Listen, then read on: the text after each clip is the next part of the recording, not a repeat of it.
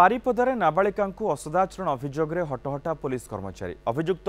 জোহরলাল বেহরা মঝি রাস্তায় বাঁধি মাড় মারি লোকে স্থানীয় ইন্ডোর স্টাডিয়াম ছকরে জনে নাবাড়িকা অটকাই অসদাচরণ করুলে এতিকি বেড়ে তা স্থানীয় লোকে ও পরিবার লোকে মিশি কাবু করা সহ বিজুড়ি খুঁটে বাঁধি মাড় মারি